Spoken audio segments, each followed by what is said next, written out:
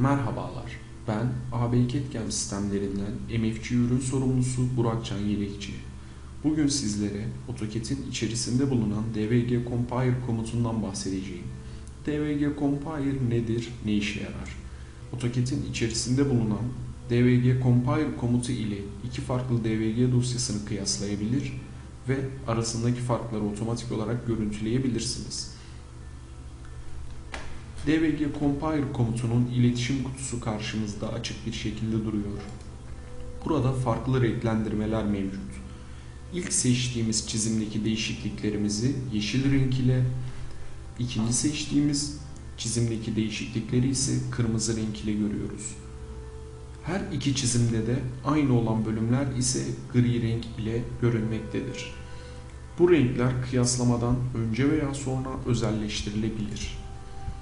Çizim karşılaştırma özelliğine Ribbon üzerinden erişebilir veya komut satırına compile yazarak erişebilirsiniz. Ok işaretleri ile ileri ve geri yaparak kolay şekilde kalabalık çizimlerimizde karşılaştırmaları görebiliriz. Beni dinlediğiniz için teşekkür ederim.